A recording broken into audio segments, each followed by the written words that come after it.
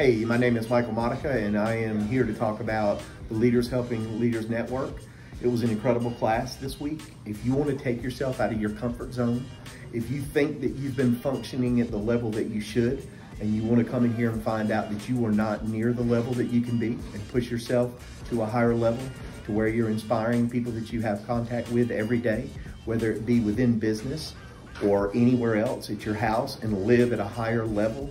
this is the class for you.